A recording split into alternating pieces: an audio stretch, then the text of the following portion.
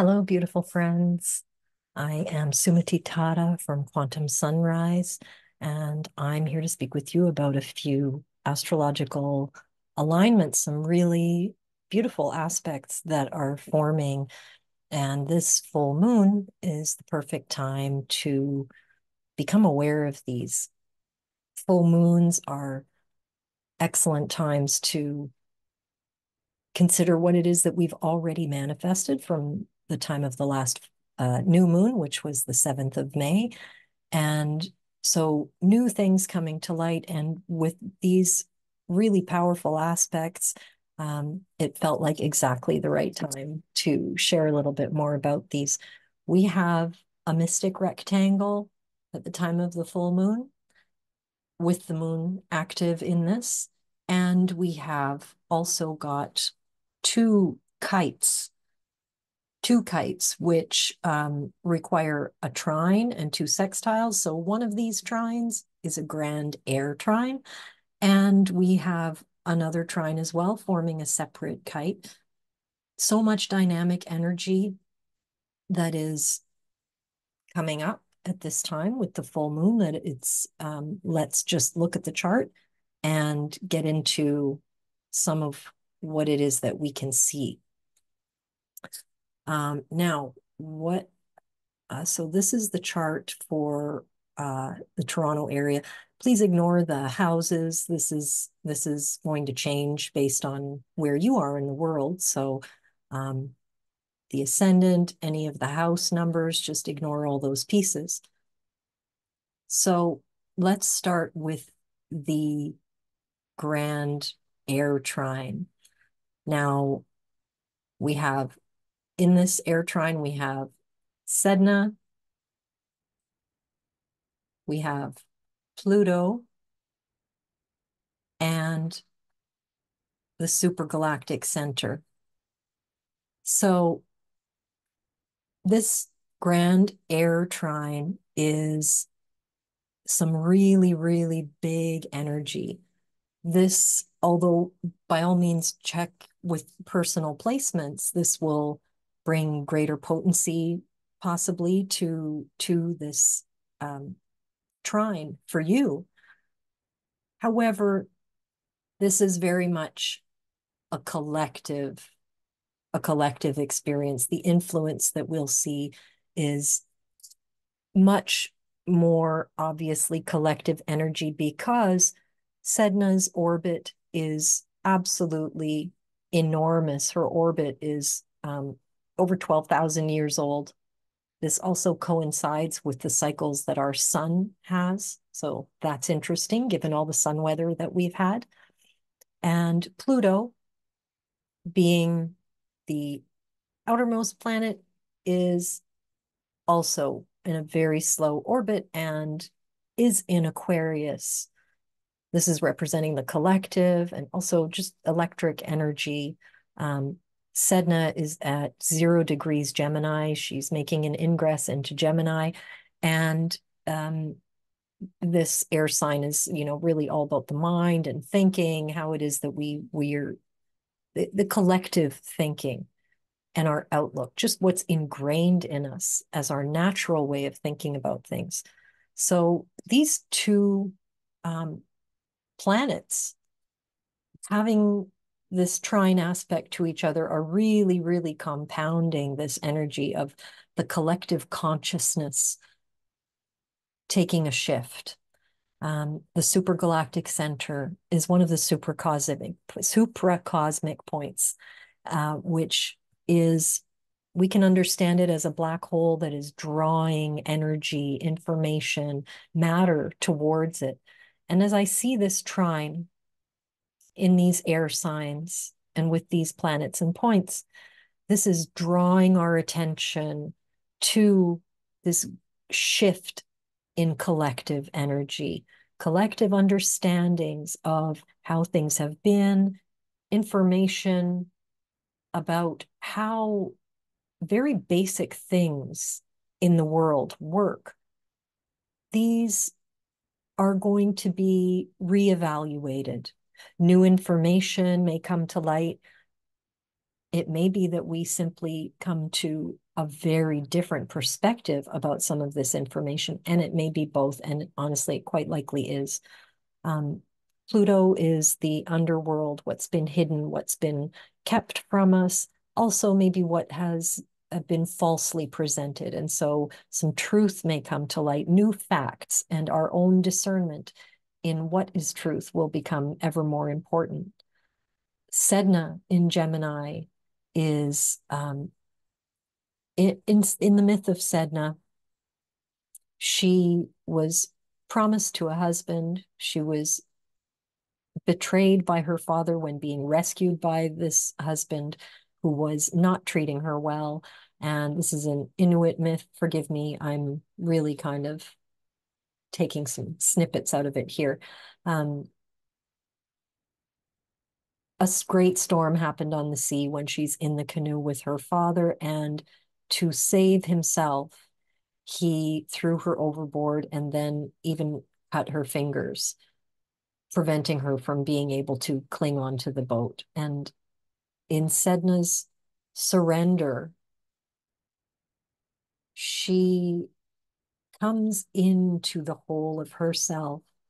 And this surrender leads to her discovery and um, expression of all of this inner resilience, inner resourcefulness, what we need to nourish us that we seek outside is actually all within us.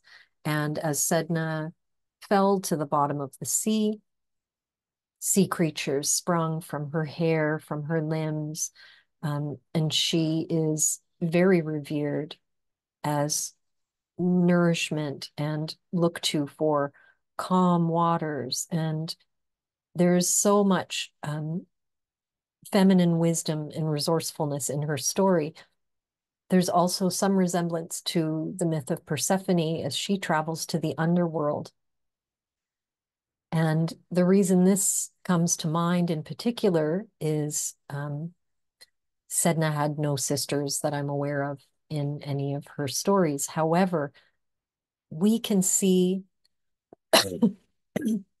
excuse me, that Sedna here is conjunct two of these stars in the Pleiades, Electra, or pardon me, Alcyone and Maia. And I'm very much seeing for the soul, offering compassion,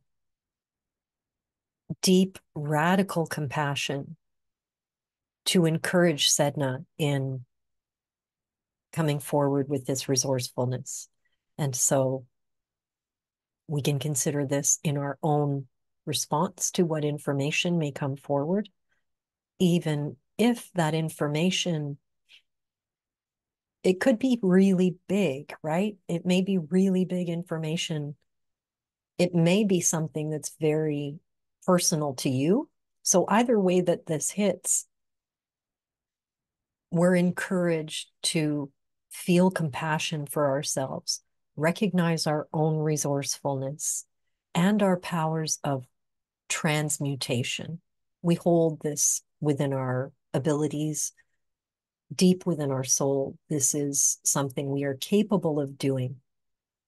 And with the trine energy, this flow is moving. If we choose to engage with it, then, then we can become a willing participant and have a greater effect on how it is that we experience this.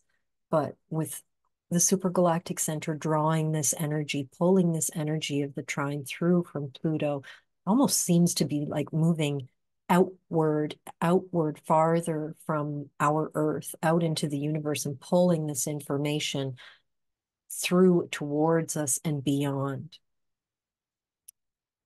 So that is the grand air trine we also have this kite forming here, which involves Neptune at 29 degrees of Pisces. At 29 degrees of Pisces, we also have a star in Pegasus called Scheat. I'm sure this is pronounced a lot of different ways.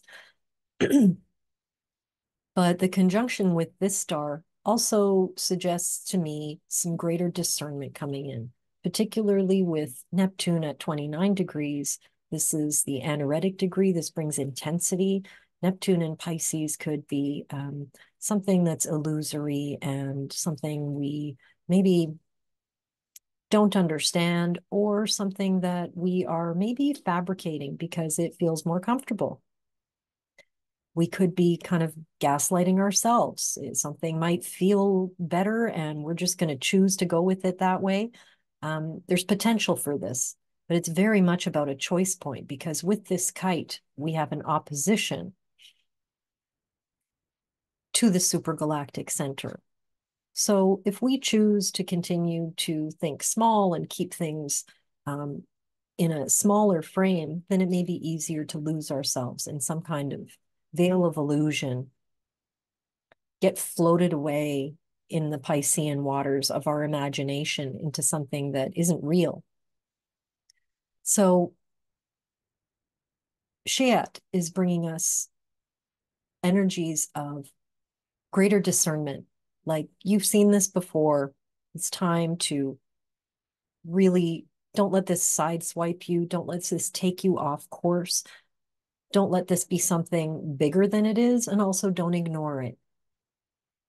The potential is there depending on how we engage with it. And if we do so consciously and actively, then we can, in effect, steer this kite energetically for us in our experience.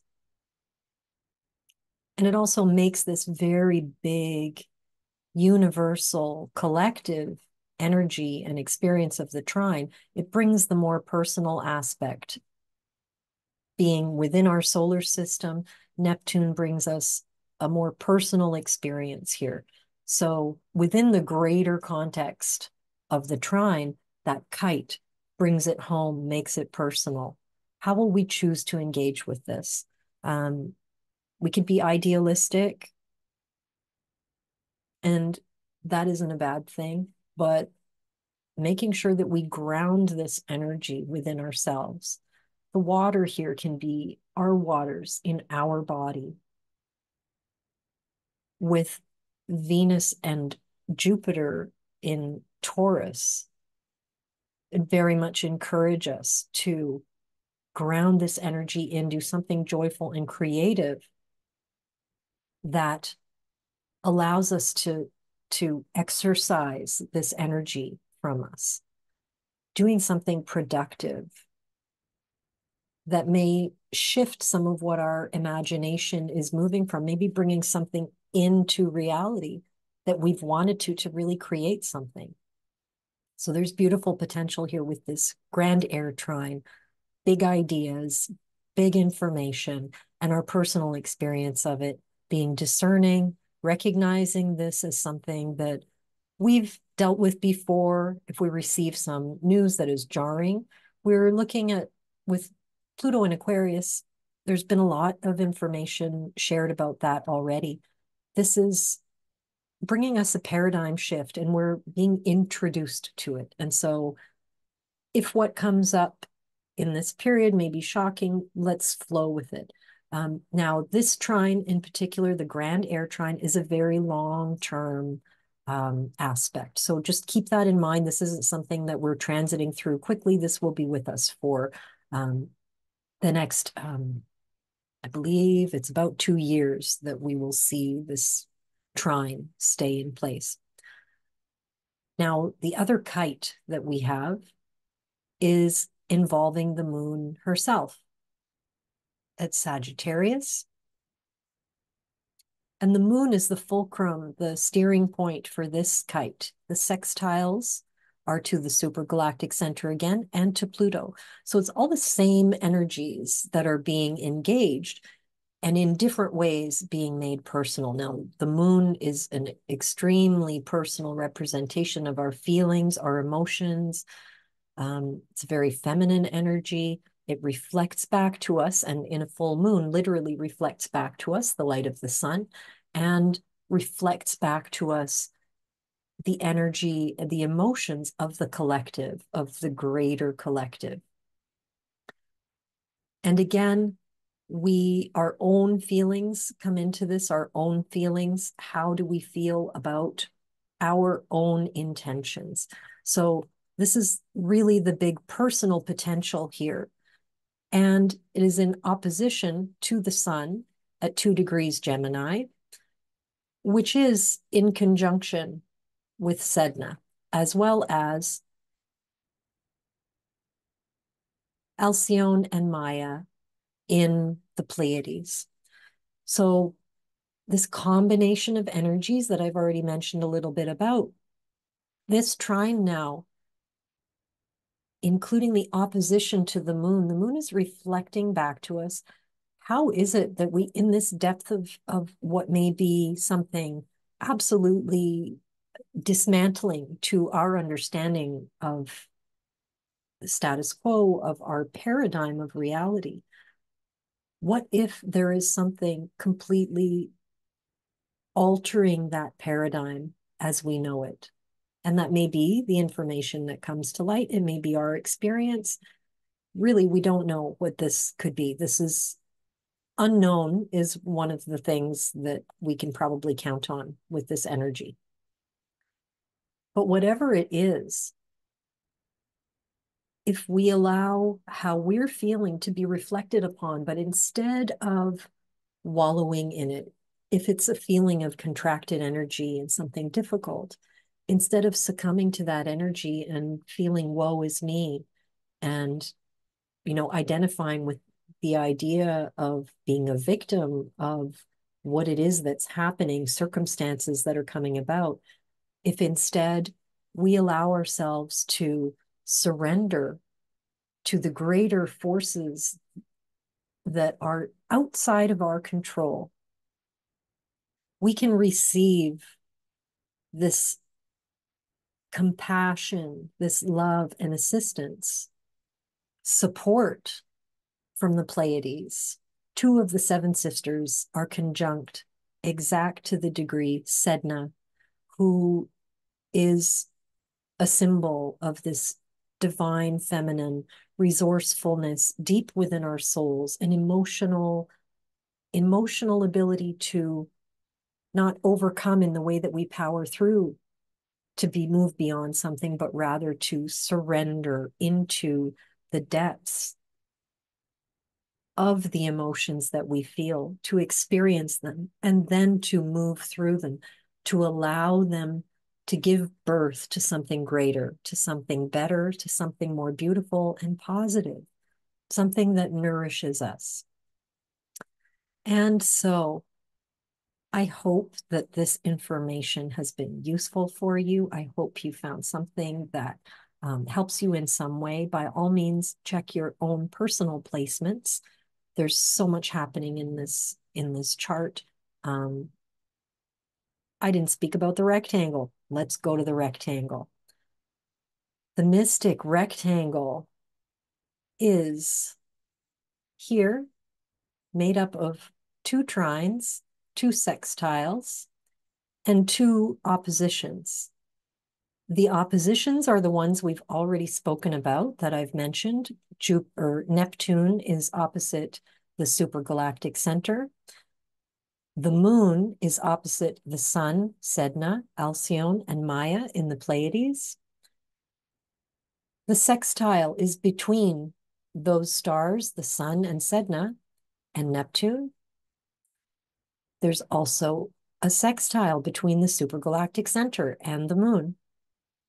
And then the trines here on opposing sides. So um, Neptune and Chayat are also trining the moon.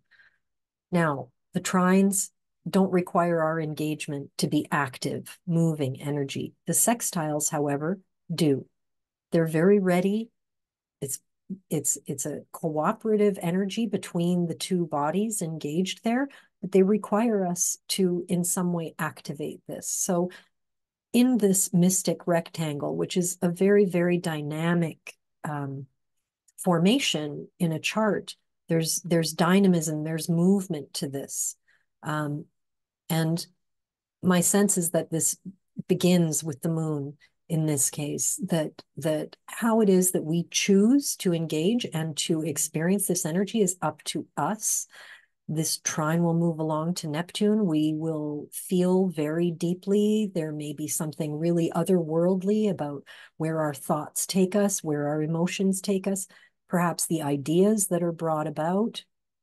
So many different things available to happen but how we feel about it and then our imagination moving into this and potentially being carried away getting creative finding new ideas and again finding whether we're choosing to um, oppose this pull of energy. If we find it frightening we might draw back and try to put the brakes on but that will only make an experience that is by its nature dynamic such as this aspect more difficult for us to move through. So this sextile how do we engage with this? We can we can engage with compassion. We engage with compassion anything that might feel disturbing to us. Allow ourselves that grace. Feel compassion for ourselves in our disturbance. This will give us a smoother experience of this. As we move along and again there's a trine back down to the supergalactic center. This is information calling to us from just beyond anything we can fathom. This is greater than our Milky Way, greater than our individual galaxy. These are all being pulled to greater and greater points. And so choose love in your everyday encounters, in your everyday dialogue with yourself, in how it is that we meet new information, especially if it's shocking and really um, throws us off our balanced footing, allowing ourselves to really witness how it is that new events and new information meet us on our path and allowing ourselves to choose to have a more positive experience of moving through any of the energies that come our way. Venus conjunct Jupiter in Taurus are really asking us to find something joyful in our lives and experience that, something in the material world. And this can also be something that we decide to make more manifest about our spiritual life. Maybe we decide we want to anchor that into something in our daily habits. Um, so lots of opportunities to present to us. And this full moon is a great time to choose how it is we're going to engage. Um, feeling all of this personal energy, feeling what ends up being a balance of all the elements the moon in a fire sign, Neptune in a water sign, Venus and Jupiter in an earth sign, and then the trine of the supergalactic center and Pluto and Sedna being in air signs. There's a lot of air here. We can really benefit from grounding this in. Um, we are bodies made of water and stardust. We ground this into the earth in some material action. We can have a much more smooth experience of these very, very intense energies that are flowing to us and through us. I thank you for your engagement. I thank you for watching. If you're interested in receiving your own personal natal galactic chart reading, please contact me at quantumsunrise.ca. Thank you.